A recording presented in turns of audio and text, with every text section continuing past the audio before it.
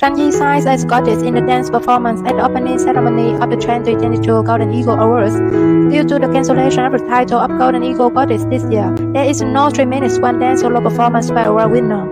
On social networks, the audience gave many compliments to Sun Yi's beauty image. The Golden Eagle Awards ceremony will take place on November 6. Most of the guests were artists with many years of experience in the profession.